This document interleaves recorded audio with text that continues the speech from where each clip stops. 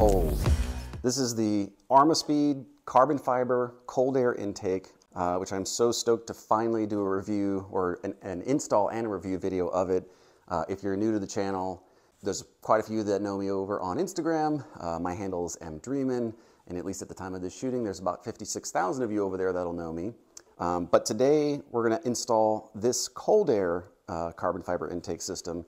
And I haven't seen a lot of people do reviews of um, cold air intakes. They talk a lot about, you know, the swoosh sounds that you get from the intake, um, the engine bay enhancement that you get with all this carbon fiber, but none talk about the cold air part. So, so why cold air?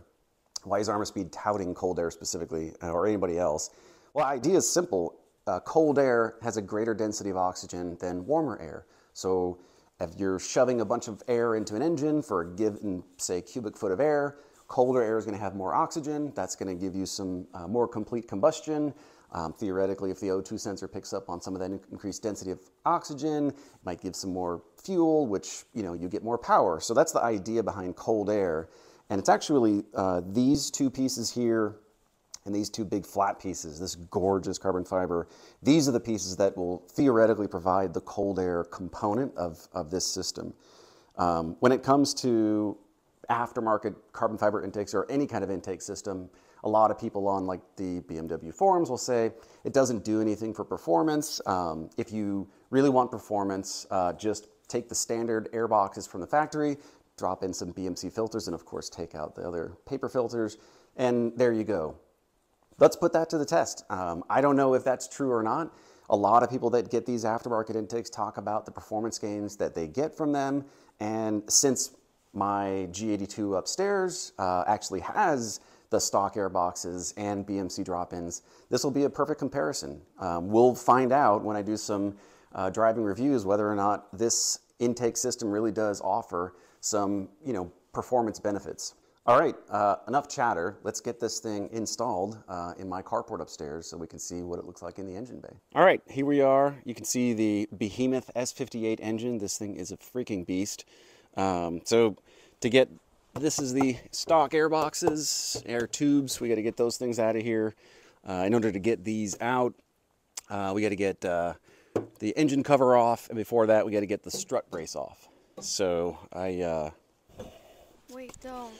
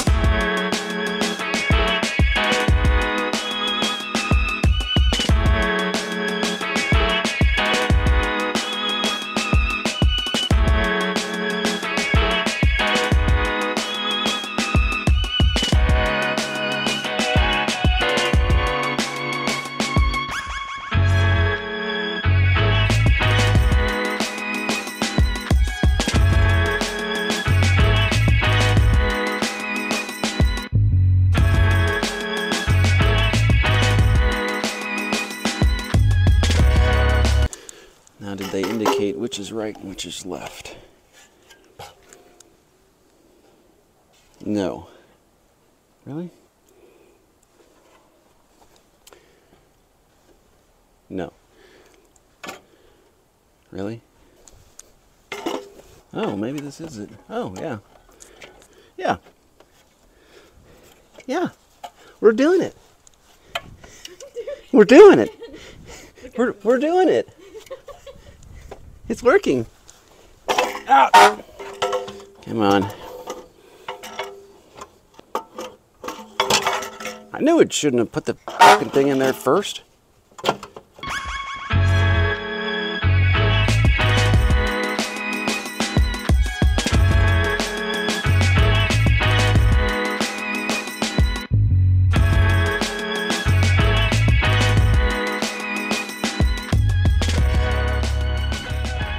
Now that we've got the intake on, let's look at the before footage to see how it sounded. All right, sound check time. Let's get some third gear pulls to test the uh, stock airbox and BMC drop-ins.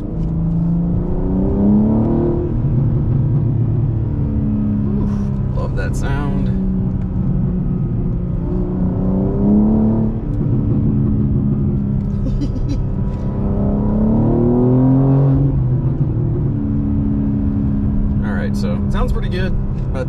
Hopefully we're gonna get some swooshy noises with the with the Armaspeed. Oh my god, this is the slowest person in the whole universe. They're flashing. Oh. All right, let's give ourselves some third gear pulls with the intake. Oh, you hear that? Yeah, The swoosh? yeah. ah, that does sound good. All right, let's try fourth gear. That's awesome. Okay, that, that actually lives up to the hype. Wow, you hear it down low. You notice that?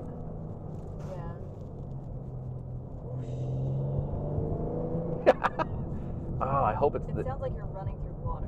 Yeah, yeah. I hope the audio is. I, I might have to adjust the uh, the microphone or something just to get the audio. Crazy. Why doesn't the standard airbox sound like that?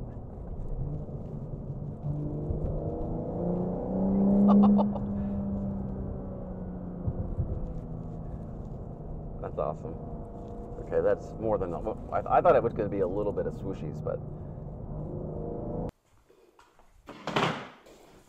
So what do you think? Wasn't that cool? Those turbo sounds? It was amazing.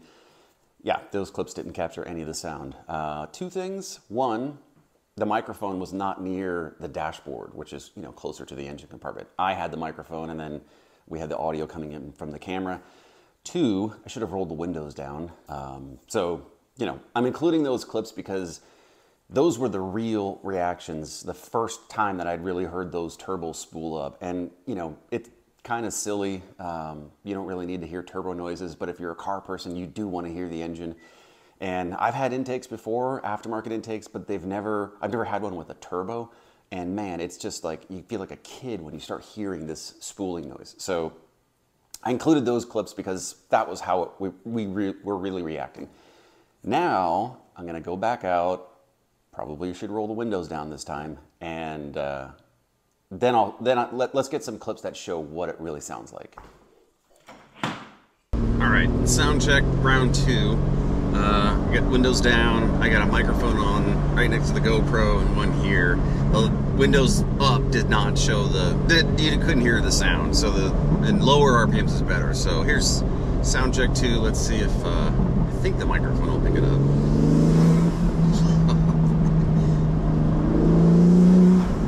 I hope that's being picked up. It's so try down low. It's so freaking fun to hear it. Like, I mean, you buy an internal combustion engine because you want to hear the engine, you know, or at least if you're a car enthusiast and you like internal combustion engines, you you want to hear it.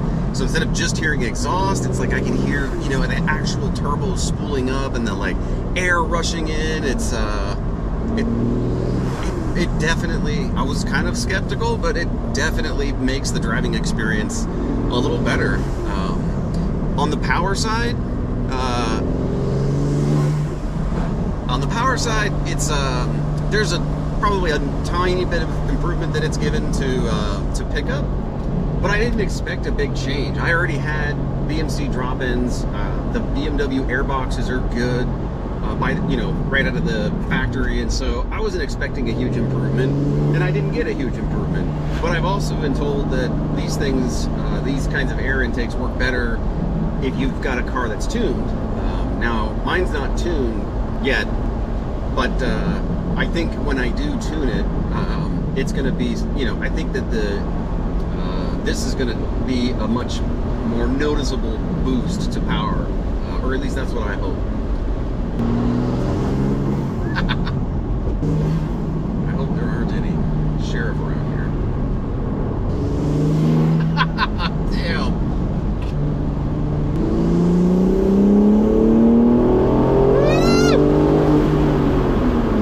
So here's fourth gear, fourth, fourth gear roll. That's so fun. Um,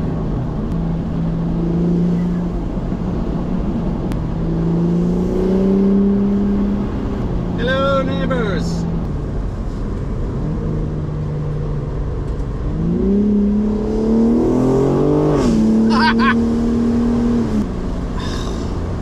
Between a car- air carbon fiber carbon fiber or not, it looks beautiful. But cold air intake like this, it's like you get noises at the bottom end of the RPM range, and then by the time you get into the mid RPM range, that starts to fade. You start to hear exhaust. So it's like with these kinds of systems, it's you know slight exhaust modifications. Like you get just a better driving experience uh, throughout the entire RPM range. Before it was kind of dead down below. It was like, okay, the car is spooling up, but I couldn't really hear anything. It was like I was waiting for the exhaust to kick in. Now I get badass noises on uh, throughout the whole range.